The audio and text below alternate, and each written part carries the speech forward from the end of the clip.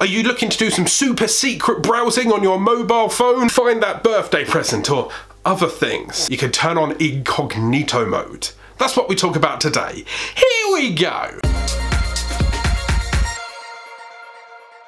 Hello and welcome back to another video. I'm Alan Spicer, your YouTube certified expert. And if you're looking to start a YouTube channel, grow a YouTube channel, or push your brand out there onto the second largest search engine on the internet, you should click subscribe start creating. Now, we've all done it. We've logged on to our computer or mobile phones and we want to hide it from the world, hide it from the government, the evil people, or people that just look at your search history. There's one surefire way that you can watch a video, not get tracked, and not be stalked by other similar content going forward, and that is by activating incognito mode on your mobile phone. This little beauty can hide your secrets.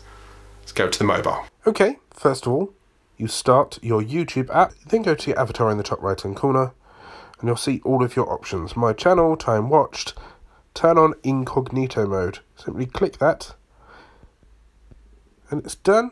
It tells you in the top right hand corner with a little icon with a hat, and in the bottom it says you're in incognito. This now means that any of the ranking, any of your history doesn't matter. It's basically just running on what's specifically trending. For more YouTube mobile life hacks, there's a playlist up here. Remember to hit that subscribe button for regular YouTube tricks and tip tutorials. Go out there, start creating.